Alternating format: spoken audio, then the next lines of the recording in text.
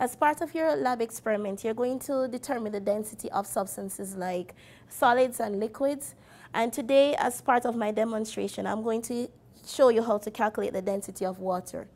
In order for us to determine the density of water, we have to determine its weight and its volume. So in order to do this, I'm going to actually weigh 50, 50 milliliters of water uh, by placing it into a beaker. So in order to do this, I first have to determine the weight of my beaker. So I make sure that I zero my, my balance. I place my beaker on and I record the weight. And it's telling me that the weight is 173.9 grams. Then I'm going to pour 50 milliliters of water into my beaker and then I'm going to determine that weight.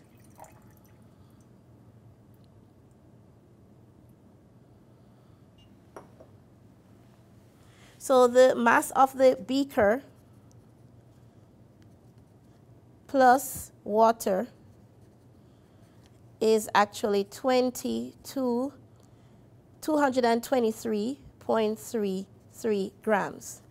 So I can therefore determine the mass of the water by subtracting the mass of the beaker plus water from the mass of the beaker itself.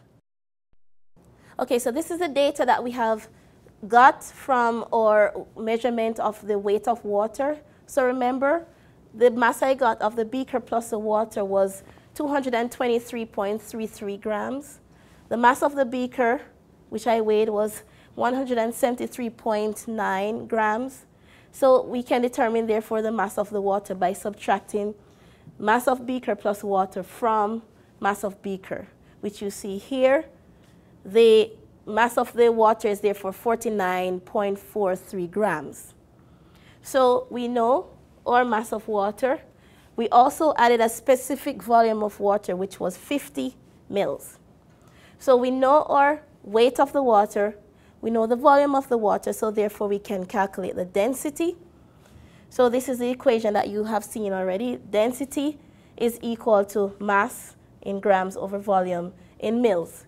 So in our case, the density of water